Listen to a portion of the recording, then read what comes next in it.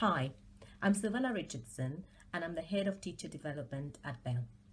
I'm really, really excited to be speaking at the next ELT Ireland conference and I will be speaking about how we can make student learning more visible to us, the teachers, but much more importantly to the learners themselves.